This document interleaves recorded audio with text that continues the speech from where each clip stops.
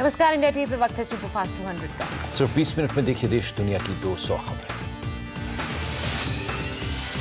मायावती पर UP BJP उपाध्यक्ष के बयान पर हंगामा टिकट बेचने का आरोप लगाते हुए आपत्तिजनक शब्द कहे। दयाशंकर सिंह के बयान पर राज्यसभा में भड़की मायावती तुरंत गिरफ्तारी की मांग। मायावती ने दयाशंकर को बीजेपी से निकालने को कहा कार्रवाई नहीं हुई तो सड़क पर उतरेगी बीएसपी।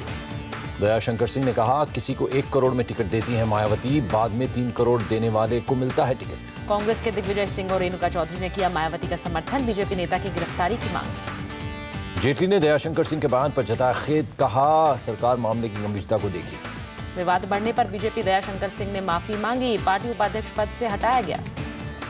यूपी बीजेपी अध्यक्ष केशव प्रसाद मौर्य दयाशंकर सिंह से माफ़ी मांगने को कहा था नहीं तो पार्टी करेगी कार्रवाई। दयाशंकर सिंह के माफीनामे से बीएसपी संतुष्ट नहीं सतीश चंद्र मिश्रा ने कहा पार्टी दर्ज कराएगी एफआईआर। लोकसभा में ऊना दलित अत्याचार पर गरमाई सियासत कांग्रेस ने जमकर किया हंगामा। कांग्रेस ने कहा बीजेपी और संघ दलित मुक्त भारत चाहते हैं ऊना कांड की जेपीसी जाँच की मांग। राजनाथ सिंह ने कांग्रेस का आरोप किया। खारिज कहा मोदी के गुजरात के सीएम बनने के बाद कम हुए दलित उत्पीड़न। राजनाथ के मुताबिक पीएम भी घटना से बेहद आहत विदेश से लौटते ही तुरंत की चर्चा। राजनाथ सिंह के बयान से कांग्रेस असंतुष्ट लोकसभा से वॉकआउट किया। कांग्रेस के के सुरेश ने लोकसभा में उठाया मुद्दा कहा बीजेपी शासित राज्यों में इमरजेंसी जैसे हालात।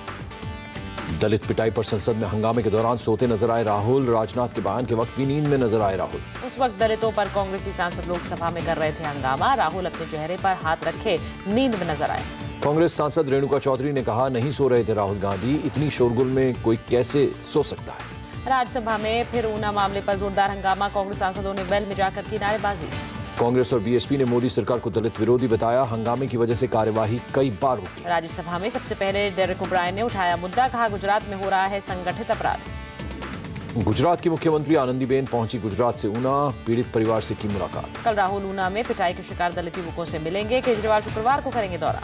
सोनिया ने ऊना कांड के बहाने मोदी सरकार पर बोला हमला सोशल टेरर का लगाया आरोप। कांग्रेस संसदीय दल की बैठक में बोली सोनिया दलितों और आदिवासियों के हक छीन रही है मोदी सरकार। अहमद पटेल ने कहा गुजरात में हालात विस्फोटक आनंदीबेन सरकार कार्रवाई करती तो हालात नहीं होते खराब। कांग्रेस नेता पीएल पुनिया ने भी कहा गुजरात सरकार ने नहीं की कार्रवाई पाँच लाख के मुआवजे ऐसी नहीं लौटेगा सम्मान। केंद्रीय मंत्री पासवान ने ऊना मामले पर गृह मंत्री से की बात, राजनाथ ने स्पेशल कोर्ट में जाँच का दिया भरोसा। केंद्रीय मंत्री थावरचंद गहलोत ने कहा, राहुल और मायावती का दलित प्रेम दिखावा, कांग्रेस शासित राज्यों में अत्याचार पर क्यों नहीं गए राहुल?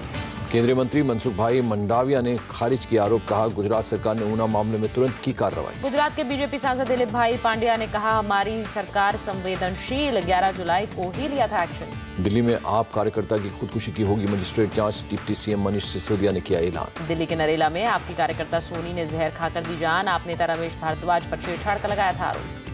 सोनी ने मरने से पहले लिया तीन नाम रमेश पर धमकी देने और शारीरिक संबंध बनाने के लिए दबाव की बात कही। पुलिस ने फ़िलहाल दर्ज किया खुदकुशी का मामला। महिला के परिवार के बयान के आधार पर होगी आगे की जाँच। मृतक महिला सोनी के पति ने भी आप नेता रमेश पर लगाया आरोप कहा पत्नी के साथ किया उत्पीड़न। आरोपी रमेश भारद्वाज की पत्नी ने आरोपों को झूठा बताया। महिला पर पंद्रह लाख रूपए ऐंठने का आरोप। सामने आई रमेश भारद्वाज की पत्नी और माँ। माँ ने बेटे को बताया बेकसूर आरोपी रमेश फरार। केंद्रीय मंत्री विजय गोयल ने खुदकुशी को बताया हत्या कहा महिला कार्यकर्ता को किया गया मजबूर। आप एमएलए सोमनाथ भारती पर एक केस दर्ज भारती के उकसाने पर महिला से बदसलूकी का आरोप। महिला का दावा केजरीवाल के कार्यक्रम में उसके साथ हुई बदसलूकी दिल्ली के साकेत थाने में केस दर्ज। दिल्ली के ओखला से आप एमएलए अमानतुल्ला खान पर मामला दर्ज एक महिला ने बदतमीजी और धमकी देने का लगाया आरोप। विधायक के घर पर इलाके की शिकायत लेकर गई थी महिला। जामिया नगर पुलिस जाँच में जुटी।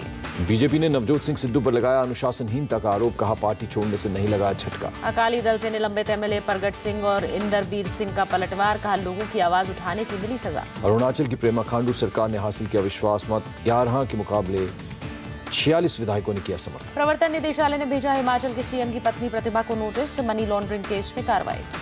उत्तराखंड के नौ बागी विधायकों को सुप्रीम कोर्ट से नहीं मिली राहत अयोग्य ठहराने पर रोक की मांग की थी। आर्मी चीफ दलबीर सुहाग पहुँचे श्रीनगर बादामी बाग कंटोनमेंट में हालात की समीक्षा की। आतंकी बुरहान वानी की मौत पर पाकिस्तान ने मनाया काला दिवस हाफिज सईद ने इस्लामाबाद में की तकरीर। पाकिस्तानी पीएम नवाज़ शरीफ ने कहा कश्मीर भारत का अंदरूनी मुद्दा नहीं जनमत संग्रह कराने की सलाह। नवाज़ ने कहा भारत बल के ज़रिए कश्मीरी लोगों की नहीं दबा सकता आवाज़ कश्मीर में मानवाधिकार उल्लंघन का आरोप। पाकिस्तान के काला दिवस का हुरियत ने किया समर्थन सैयद अली शाह गिलानी के घर पर फहराया गया काला झंडा। जम्मू कश्मीर के दूसरे इलाकों में हुर्रियत की अपील का असर नहीं लोगों ने घरों पर नहीं लगाए काले झंडे। लोकसभा में कांग्रेस नेता ज्योतिरादित्य सिंधिया का आरोप मोदी राज में कश्मीर में बढ़ा घुसपैठ। सिंधिया ने कहा सरकार देश को दे जवाब कश्मीर हिंसा के बाद घाटी में क्यों नहीं गया कोई मंत्री? बीजेपी नेता अनुराग ठाकुर ने कांग्रेस को आत्ममंथन करने को कहा उसी की गलती से कश्मीर में है ये हालात। कांग्रेस संसदीय दल की बैठक में सोनिया ने उठाया कश्मीर का मुद्दा कहा हाल की घटनाएँ देश के लिए गंभीर खतरा। जितेंद्र सिंह ने कहा पाकिस्तान के काला दिवस का कोई तुक नहीं पाकिस्तान से बातचीत तय नहीं। सुषमा ने एनएसजी की सदस्यता नहीं मिलने के लिए चीन को ठहरा जिम्मेदार कहा प्रक्रिया से जुड़ी बाधाएँ डाली। लोकसभा में एनएसजी मुद्दे पर चर्चा सुषमा ने कहा नहीं माना इसका मतलब ये चीन कभी नहीं मानेगा।